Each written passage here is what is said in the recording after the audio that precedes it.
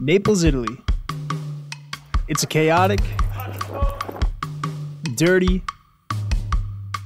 sprawling, ancient, culturally rich city, and my favorite city in the world. There's so much to do there, from exploring castles and monuments in the city, enjoying incredible food and Italian hospitality, learning about the history, and so many nearby day trips that, for me, one week just wasn't enough time. What's up, guys? So, today's our last day in Naples. So, we're running to get a free tour to actually see the city because we've left the city so much. Usually, people do free tours on the first day, but you know, we like to do things on that trail. We don't like to follow course. Um, right now, we're late, so we're running. Unfortunately, like I said, today's our last day in Naples, so we're leaving. Giovanni's home, the amazing hostel we stayed at. He was a great host. He cooked for us, he sang for us, he showed us that Southern Italian love. If you ever come to Naples, stay with Giovanni. Okay, we gotta make this free tour.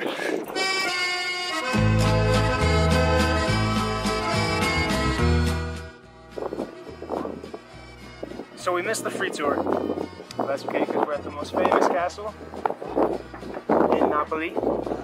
So we're just gonna go the fam- most famous castle in the world of Napoli, Napoli, and we're just gonna go inside and check that out. We're in the castle now. Luckily, it was free. You just have to book online because COVID.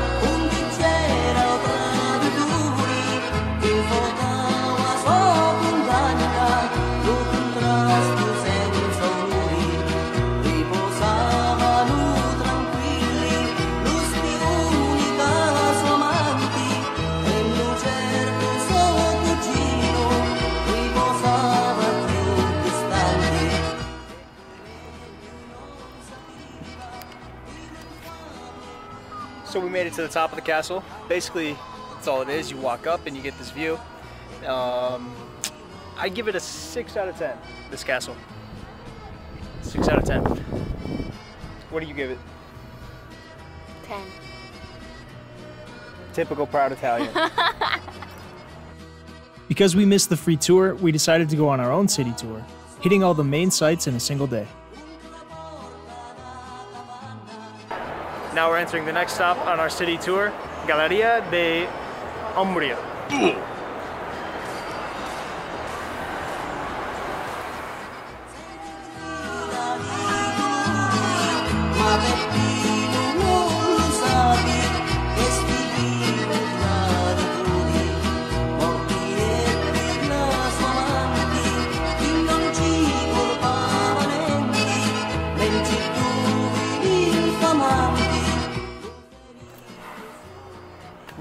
Next destination.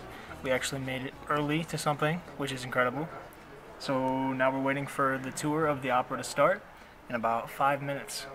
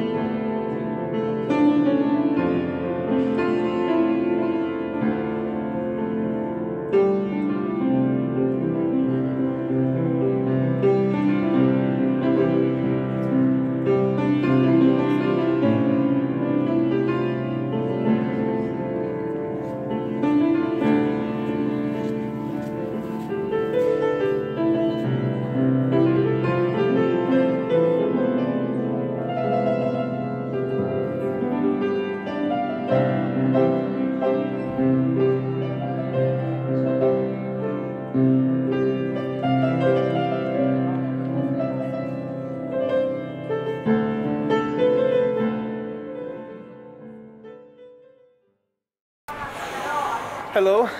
So we're at our next spot on our tour of things to see in Napoli. We are at Cappella San Severo, home to uh, Cristo, no, that's Spanish, the Cristo Velato, which is by some considered the greatest marble sculpture in the world. Okay, never mind. We failed to book online, so uh, it's all sold out. We're not going in. But if you want an idea of what we were going to see, there it is right there. Also, you're not allowed to record inside, so this is the next best thing, honestly. One thing Naples is known for is its mm, less than formal street crossings. So, Noemi, how do we cross the street in Napoli?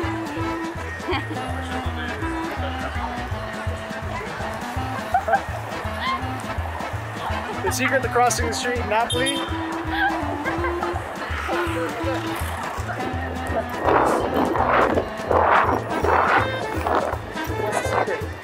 Don't give a fuck.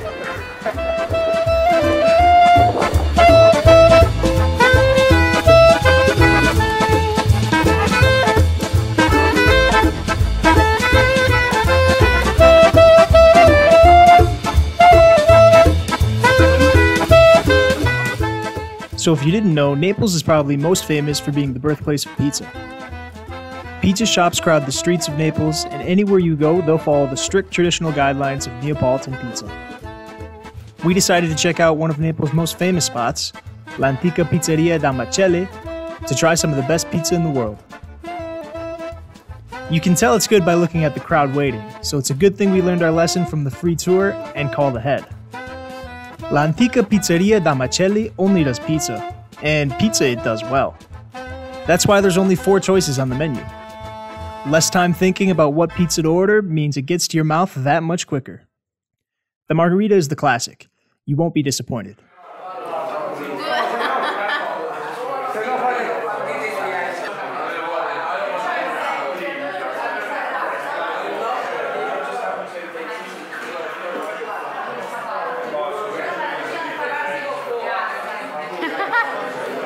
How how are you?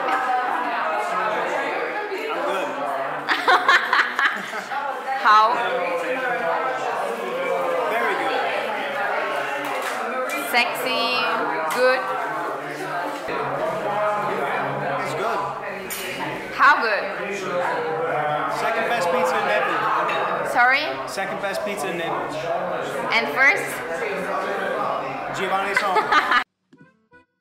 So, if you really want to, you can see all of that in a day in Naples.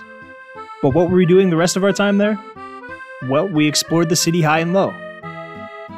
First high.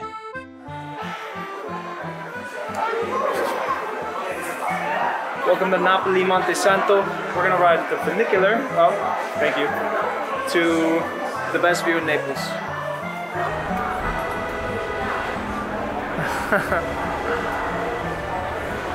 no, not you, the, the station, that's what I'm filming.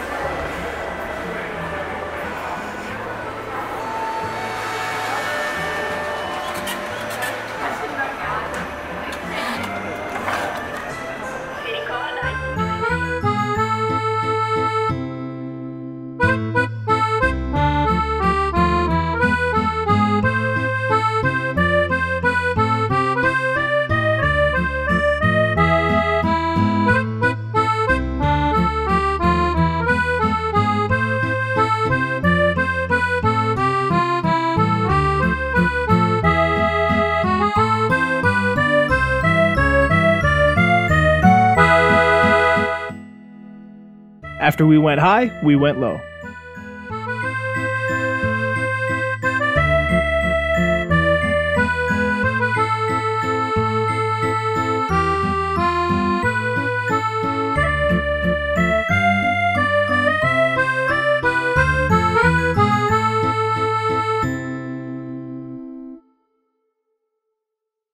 Another must visit in Naples if you love history is the National Archaeological Museum. There you can find all the best preserved treasures from the nearby ruins of Pompeii, among other masterpieces from Roman society. I guess they're sort of into mosaics, huh? While we were there, we also used Naples as a home base to explore nearby destinations on the Gulf of Naples. And hour train ride will take you to the city of Caserta, where you will find the world's largest royal palace, the Royal Palace of Caserta. What's going on, guys? So today we're going to Caserta, which is located outside of Napoli. Um, right now, she's booking the tickets online because uh, it seems like after COVID, everything you have to book online. And I think places do this to try to limit the number of people who can come at one time. Um, it's super inconvenient and it's not fun, but uh, it's a sacrifice you have to make if you want to travel in these these times.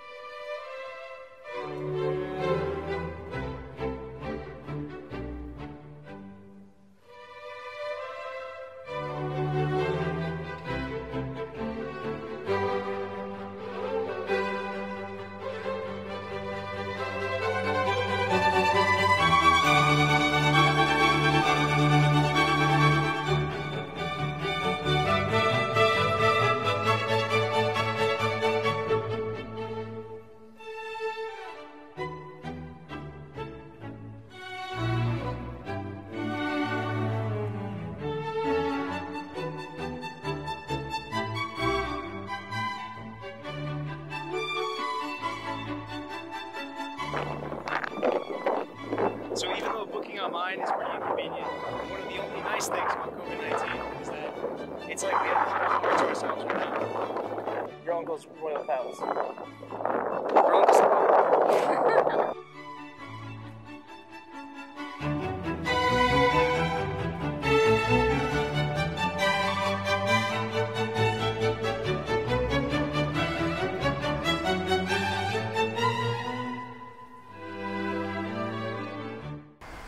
Are disgusting.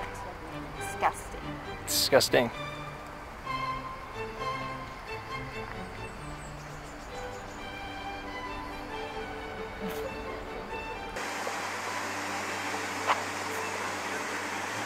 Here I am, walking in my gardens. I come here daily to think, you know, meditate, think about life. Uh Find it relaxing. Swim with the fish. Well, as the owner of this park, what do you do during the day? What do I do during the day? Well, I usually wake up early with the sunrise, and then I start walking to one side of my garden. Uh, how long does it take? About half the day. Uh, Okay. And then I walk back. and I go to bed, and that's my whole day. Every day like it. Yeah, yeah, yeah. Walk from one side of my garden to the other. Um, and then I come back, and that's my day.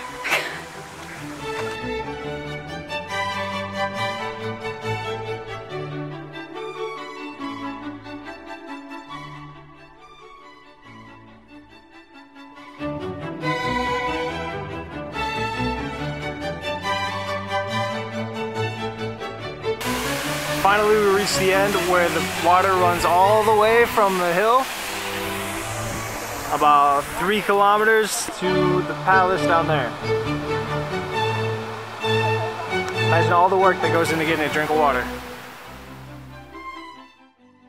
So if you're not so into day-long strolls through the garden and voluminous living quarters, and fun in the sun is more your style, the Bay of Naples has ferries running all day long to the nearby islands of Capri, Ischia, and Procida. We spent a day exploring the island and relaxing on the beach in Procida, the most underrated of the three. I highly recommend it for a getaway from your getaway in Naples. So that's Naples. It's not hard to see why I loved it so much. Consider stopping by on your next trip to Italy. I hope you enjoyed the video, and if you want to help us grow, go ahead and like, subscribe, comment, ring the bell, share, you know, all that YouTube stuff. Thanks for sticking around to the end of the video, and until the next one, as always, give travel. Bye, guys.